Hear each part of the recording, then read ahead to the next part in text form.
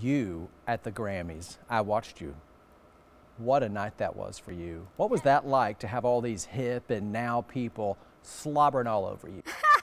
what was that like? Well, I don't know if they're slobbering all oh, over they were me, loving on you. How about I- that? Yeah, they were loving on me, and I was loving on them. I really felt very honored and very proud to to actually be here after all these years. I've been in the business for 60 years now. To still be here and to still be relevant, you know, in the business, and to have the young people, the up and comings, and all that, to still think that I'm.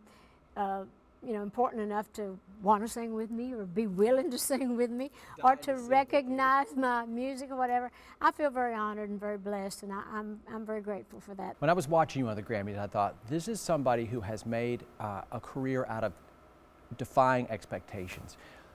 First off, as a woman, that was a big part of that night, it seemed to me, as other women join you. Is that a big thing that you're proud of today? I love seeing women do well. I'm so happy that I did well as a woman because I didn't I never linked it to being whether I was a girl or a boy. I had these songs, I had this dream, I had this talent, so I just went for that. So I think that's would be my advice, you know, to all the women out there. Just believe in yourself, know who you are, stand your own grounds and don't take no for an answer and, you know, just respect yourself, respect each other as women and, you know, respect the good men and appreciate them and do what you need to do about the rest, about the others. And as a mountain folk, as somebody from here too, you defied expectations when they when it comes to what people might think about us from Appalachia.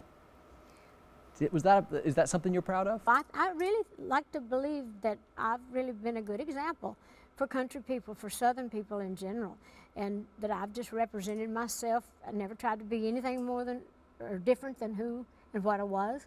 I just wanted to be my best self, proud to be a country person, never tried to lose my accent. And, you know, I just am proud to be a Southern woman, a mountain girl.